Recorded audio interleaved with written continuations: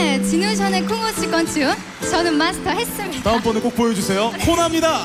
마녀 여행을 떠나다 지금부터 내 말 잘 들어요 적어도 하루에 한 번씩은 수정구슬 닦아주길 아침 일찍 일어나 하얀 우유 한 잔씩 마시길